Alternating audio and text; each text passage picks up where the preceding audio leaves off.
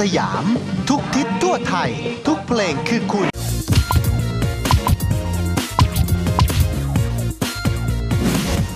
ช่วงดนสยามสี่ทิศ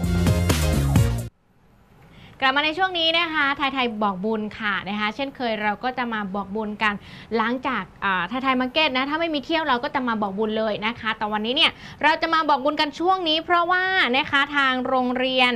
บ้านท่าระพานะคะอยู่ที่อำเภอเมืองจังหวัดสระแก้วนะคะตอนนี้เนี่ยน้องๆ ของโรงเรียนเนี่ยเนี่ยต้องการความช่วยเหลือหลายด้านนะคะ แต่ว่าจะเป็นด้านไหนนั้น เดี๋ยวเราจะต่อสายนะคะ ไปหาครูแป๋วนะคะ หรือว่านางสาวปะทิตานะคะงอมสตุงอมสระคูนะคะ ซึ่งเป็นรักษาการแทนผู้อำนวยการโรงเรียนบ้านท่าระพานะคะ เดี๋ยวเราต่อสายหา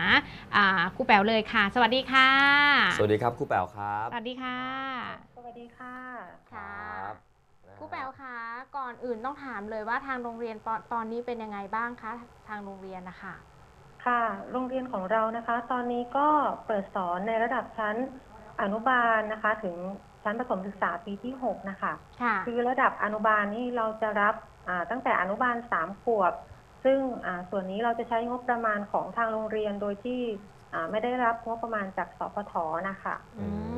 มค่ะค่ะ ซึ่งส่วนนี้ก็ อ่าถือว่าเราช่วยสังคมด้วยนะคะครับอืมนะฮะแล้วปัจจุบันนี่มีนักเรียนทั้งหมดกี่คนฮะในโรงเรียนครับครูแป๋วครับ ค่ะ มีนักเรียน 132 คนนะคะ แล้วก็อืมอาจจะมีนักเรียนอ่าต่างชาติคือเด็กจากกัมพูชาด้วยนะคะ ฮะฮะมีนักเรียนต่างชาติมาเรียนด้วยเหรอคะ ค่ะจากอ่ากัมพูชานะคะ คือจะเป็นลูกของคนงานที่ เข้ามาทำงานอยู่ในอ๋อ แถวในหมู่บ้านนะคะ อ่าฮะมีเยอะไหมค่ะฮะอย่างอย่างถ้าเป็นอ่าอ่าเป็นบุตรหลานมีของชาวกัมพูชามี8คนค่ะตอนนี้ อืมแล้วเขาใช้ตอนนี้ภาษาเออเขาภาษาอะไรเขา ยังไงบ้างฮะ เขาสื่อสารได้ไหมคะ สื่อสารได้แต่เขาจะขี้อายนะคะ เขาจะไม่กล้าพูดกับครูนะคะ อ๋อ แต่เราก็พยายามให้ แต่เวลาเล่นกับอ่านักเรียนเขาก็เล่นด้วยกันนะคะ อืมค่ะ แล้วอย่างนี้ทางคุณครูล่ะคะ มีประมาณสักกี่คนคะ อาตอนนี้เรามีครูประจำการสี่คนนะคะ แล้วก็ค่ะ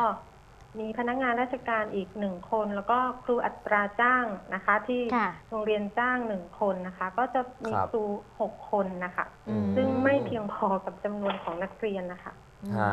อืมเนื่องจากว่ามีหลายชั้นเรียนด้วยค่ะ นะครับ ใช่ค่ะ ห้องครับ เรียนก็ไม่เพียงพอ โอ้โห ม นะฮะแล้วอย่างนี้มีห้องเรียนที่ที่ต้องใช้ร่วมกันเนี่ยอย่างเงี้ยประมาณใช่กี่ห้องค่ะ ครับ อากี่ชั้นตอนนี้เรียนเรามีห้องเรียนที่อ่าใช้ร่วมกันก็คืออนุบาลหนึ่งรวมกับอนุบาลสองนะคะ ครับ เพราะว่าเมื่อก่อนอาระดับชั้นป .5 กับป .6 เนี่ยอาพอดีอาเพิ่งมีผู้ใจบุญนะคะท่านมาสร้างอาคารให้ก็อือ่ามีงบประมาณให้สองห้อง ซึ่งก็ไม่เพียงพอนะคะ ครับอืมนะฮะแล้วทีนี้ในในส่วนของการขาดเหลือของโรงเรียนในด้านอื่นนี่มีมีเรื่องอะไรบ้างครับครูแป๋วครับ ค่ะ สิ่งที่โรงเรียนอ่าขาดเหลือนะคะ ก็ จะเป็นอ่าบริเวณอ่างบประมาณในการทำรั้วโรงเรียนนะคะค่ะก็จะสังเกตเห็นว่าอ่าทุกโรงเรียนที่เราผ่านไปผ่านมาใช่ไหมคะเขาก็จะมีรั้วอืมอ่าแต่โรงเรียนของเราอ่าไม่มีงบประมาณในการสร้างรั้วตรงนี้นะคะ ซึ่งครับ อ่าอ่าเป็นการอ่าเพื่อความปลอดภัยของนักเรียนแล้วก็ทรัพย์สินของโรงเรียนด้วยนะคะ แล้วอีกอย่างหนึ่ง อืม โรงเรียนก็มีแต่คุณครูผู้หญิงนะคะ พักอยู่ครับ ในโรงเรียนก็อ่าอยากจะ ให้ช่วยดูแลด้านนี้ด้วยนะคะ แสดงว่าปัจจุบันก็ไม่มีรั้วแบ่งเขตที่ชัดเจนเลยถูกไหมครับ ก็เดินเข้าออกได้เลย ใช่ค่ะโอ้อืมนะค่ะฮะแล้วด้านอื่นล่ะครับครูแป๋วครับ อ่าก็จะเป็นอ่างบประมาณนะคะในการจ้างครูนะคะ เพราะว่าโรงเรียนของเรามีครูไม่พอ ฮะ อืม แล้วก็ต้องการที่จะพัฒนาการเรียนการสอนนะคะ โดยที่อ่าเราต้องเน้นครู เพราะว่าครูเป็นอ่า ผู้ถ่ายทอดผู้ที่จัดกระบวนการเรียนการสอนนะคะครับค่ะแต่ถึงยังไงอ่าถึงเราจะมีน้อยแต่เราก็มีคุณภาพนะคะ เพราะว่าฮะโรงเรียนของเราอ่ามีผลโอเน็ตนะคะ ในปี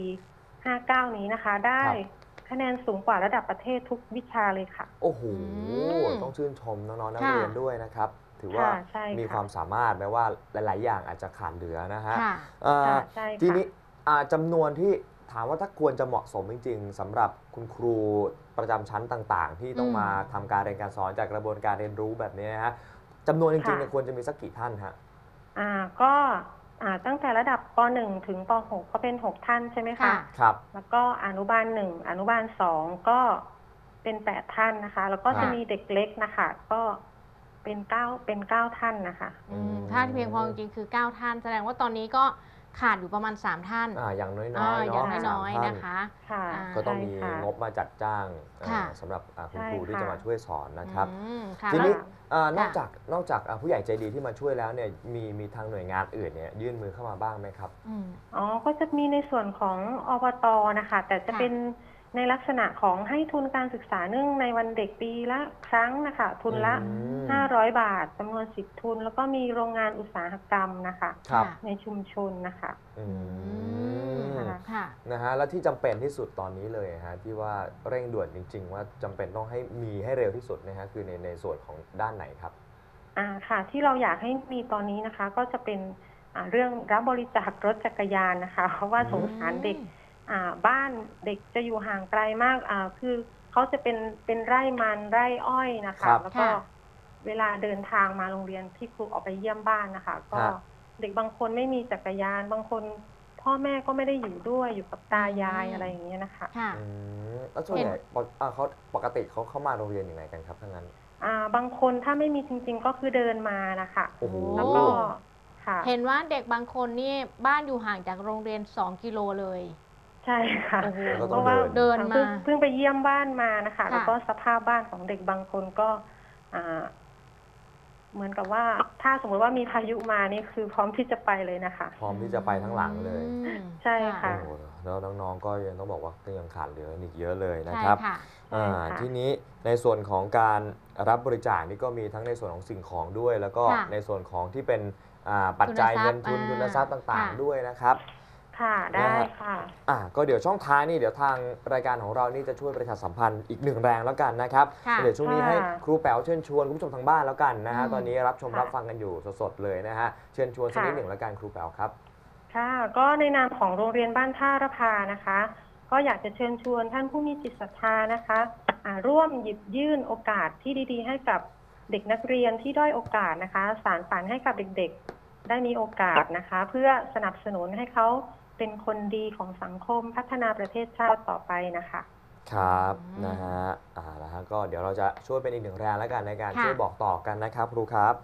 ค่ะครัได้บผมค่ะอ่าช่วงนี้ขอบคุณครูแป๋วมากเลยนะครับครูแป๋วปฏิตางอมศักดิ์ครูนะครับรักษาการแทนใช่ค่ะ ผู้อำนวยการโรงเรียนบ้านท่าระพานะครับวันนี้ขอบพระคุณนะครับครูแป๋วครับ ค่ะ ขอบพระคุณนะขอบคะคุณครับสวัสดีครับ ค่ะ ค่ะ ค่ะเดี๋ยวขอเน้นย้ำช่องทางอีกสักครั้งนะคะเผื่อว่าคุณผู้ชมท่านไหนที่ดูอยู่แล้วสนใจอยากจะร่วมทำบุญนะคะร่วมช่วยให้น้องๆ ได้มีทุนการศึกษาได้มีจักรยานในการที่จะปั่นมาเรียนนะคะ สามารถร่วมได้เลยนะคะ ที่ธนาคารกรุงไทยสาขาสระแก้วนะคะ ชื่อบัญชีค่ะ โครงการแบ่งปันแบ่งฝันปันน้องโรงเรียนบ้านท่าระพานะคะ เลขที่บัญชีค่ะ 236 0310 313 นะคะ หรือว่าจะอ่าโทรเข้าไปสอบถามก็ได้นะคะ ที่เบอร์นี้ค่ะ 061 423 2394 นะคะ ก็สามารถสอบถามรายละเอียดเพิ่มเติมได้เผื่อว่าใครมีสิ่งอื่น ๆ ที่อยากจะร่วมช่วยน้องๆนะคะอืมก็ลองสอบถามได้เลยนะคะครูแป๋วก็จะได้ให้ข้อมูลทางด้านนี้ได้ด้วยใช่ค่ะครับก็เบอร์โทรศัพท์นี่ต่อถึงครูแป๋วเลยนะครับค่ะยังไงท่านใดก็สามารถติดต่อสอบถามได้ ถูกต้องนะค่ะฮะอะฝากบอกบุญไว้ด้วยแล้วกันนะครับคุณผู้ชมฮะช่วงนี้เดี๋ยวพักกันครู่หนึ่งช่วงหน้ากลับมาอยู่ด้วยกันต่อนะครับ ค่ะ